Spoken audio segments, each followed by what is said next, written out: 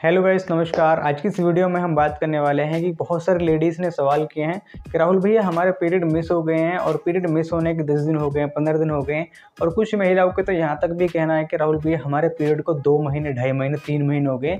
लेकिन प्रॉब्लम ये चल रही है कि हमारे, जब भी हम एक टेस्ट कर रहे हैं, प्रेगनेंसी का टेस्ट तो वो जो टेस्ट है वो नेगेटिव आ रहा है। मतलब कि ये बता रहा है कि प्रेगनेंसी नहीं है। तो हमें क्या करना चाहिए? फिर ये ऐसा क्यों हो रहा है?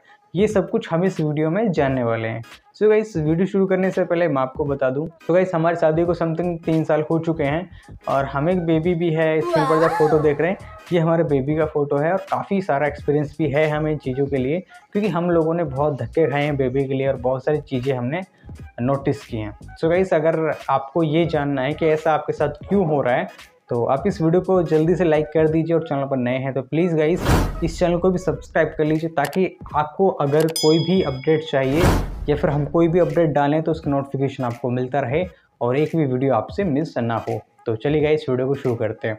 अब देखिए जैसे कि मैंने आपको बता दिया टॉपिक क्या है तो देखिए ऐसा क्यों होता है वो हम थोड़ा सा समझ लेते हैं। देखिए ऐसा होना एक बीमारी है जिसे हम पीसीओडी कह सकते हैं या फिर पीरियड की समस्या हम इसे कह सकते हैं। तो काफ़ी सारी महिलाओं का क्या होता है कि जो साइकिल होती है, पीरियड की साइकिल, कुछ लोगों की तो 25 दिन की होती है, कुछ लोगों की तीस दिन की होती है। मतलब कुछ लोगों की साइकिल रेगुलर होती है उनकी तीस दिन के अंदर ही मैंसुरेशन साइकिल आ जाती है, उनके पीरियड्स वगैरह आ जाते हैं। लेकिन कुछ महिलाओं का क्या होता है, दस दिन आगे, दस दिन पीछे या फिर एक महीने में दो दो बार हो जाता है। तो ऐसा होता है अक्सर बहुत सारी महिलाओं में। तो जिन महिलाओं में ये समस्या होती है, पीरियड्स की, जिनके पीरियड्स आगे पीछे होते रहते हैं तो उनका कभी भी ये विश्वास नहीं होता कि उनके पीरियड आगे पता नहीं कितने महीने के लिए रुक जाएँ। कभी कभी तो ऐसा भी होता है कुछ महिलाओं के साथ कि उनके पीरियड हमेशा के लिए रुक जाते हैं साल साल दो दो साल के लिए भी रुक जाते हैं। तो पीरियड में ये जो टेस्ट नेगेटिव आना, इसके बहुत सारे कारण हैं। जैसे कि हो सकता है कि पीरियड आपके पहले बिल्कुल ठीक थे। अब आपके बीच में तबीयत ख़राब हुई है या फिर आपने कुछ मेडिसिन लिया है, आपको बुखार वगैरह हुआ है, कुछ ट्रीटमेंट वगैरह चला है आपको तो ये भी कारण हो सकता है या फिर हो सकता है कि आपकी बॉडी में कमज़ोरी आना इस महीने आपने बहुत सारे ऐसे हार्ड काम किए हैं जो आप पिछले महीने से नहीं करते थे तो भी आपको ये दिक्कत आने हो सकती है।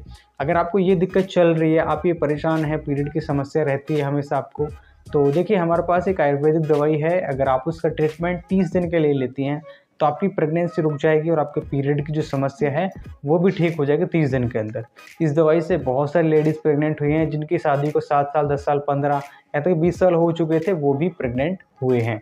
तो अगर आप प्रेग्नेंट होना चाहती हैं और इस दवाई को मंगवाना चाहती हैं तो नॉर्मली स्क्रीन पर आपको नंबर मिल जाएगा। आप इस नंबर पर हमें व्हाट्सएप पर मैसेज कर सकते हैं कॉल कर सकती हैं जैसे आप कॉन्टैक्ट करना चाहें वैसे कर सकती हैं।